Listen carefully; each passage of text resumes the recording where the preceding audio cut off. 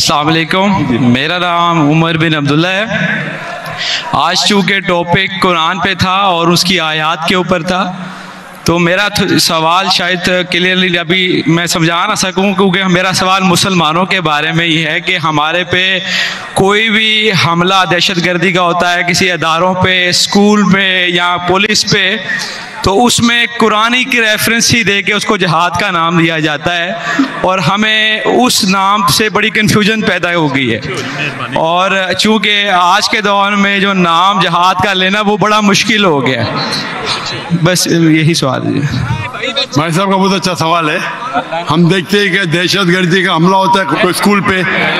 कई बेगुनाह का कत्ल होता है।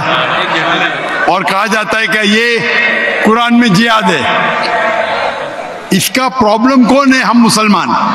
हम मुसलमान कुरान पढ़ते हैं, लेकिन समझते नहीं। मेरे बेटे ने तकरीर की थी कराची में। क्या कुरान को समझ के पढ़ना ज़रूरी है? अगर हम कुरान को समझ के पढ़ेंगे और कुरान को समझेंगे तो कोई भी दहशतगर्द आपको बेवकूफ़ नहीं बनाएगा।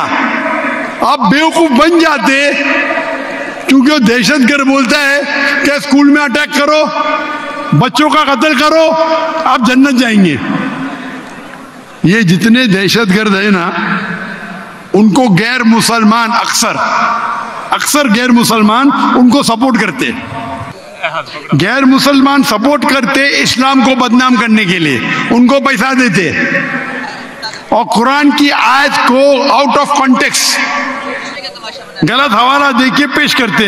आप अगर कुरान मजिद को समझ के पढ़ेंगे, मैंने तो तकरीर में कहा है, अगर एक आयत हर मुसलमान जाने सूर्य मायदा की सूरा नंबर पाँच, आयत नंबर बत्तीस, अगर कोई भी बेगुनाह का आप कत्ल करते हैं चाहे मुस्लिम या गैर मुस्लिम, सिवा कत्ल के बदले कत्ल, या अगर ज़मीन पे फसाद पैदा कर रहा है, ये दो के अलावा, अगर कोई इंसान मुस्लिम या गैर मुस्लिम दूसरे कोई इंसान, मुस्लिम या गैर मुस्लिम का कत्ल करता है? गोया के सारी इंसानियत का कत्ल कर रहा है?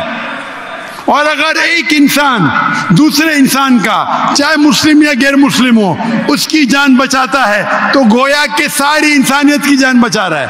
अगर ये आयत आप अपने दिमाग में, जहन में रखे तो कोई भी दहशतगर्द आपको बेवकूफ़ नहीं बना सकता है। गलती किसकी? आपकी। डॉक्टर जाकिर नाइक ने कहा, हम जाके चेक करेंगे, घर पे जाके खोलो। सूर्य मायदा सूरा नंबर पाँच। आयत नंबर बत्तीस, तर्जुमा पढ़ो। और आपको पता है कि कुरान में कभी भी कॉन्ट्रडिक्शन नहीं है, कभी भी टकरार नहीं है। तो एक आयत आपके दिमाग में आप याद कर लो, कोई भी दहशत गर्द आपको बेवकूफ़ नहीं बना सकता है। गलती किसकी? आपकी। ये गैर मुसलमान क्या करते हैं? कुछ मुसलमान को भड़काते हैं और कुछ कुरान की आयत और हदीस को, आयत को तोड़ मरोड़ के पेश करते हैं। और वो क्या करते अपने नौजवान मुसलमान को भड़काते इस पे तकरीर दी है मैंने। इस टेररिज्म मुस्लिम मोनोपोली। एक तकरीर की है मैंने। दहशत गर्द और जिहाद। इस्लाम के पस मंजर में। देखिए आप। और डिटेल में आंसर दिया हूँ मैं। गलती हमारी है कि हम कुरान मस्जिद को समझ के नहीं पढ़ते। कुरान मस्जिद समझ के पढ़ेंगे तो कोई भी आपको बेवकूफ़ नहीं बनाएगा।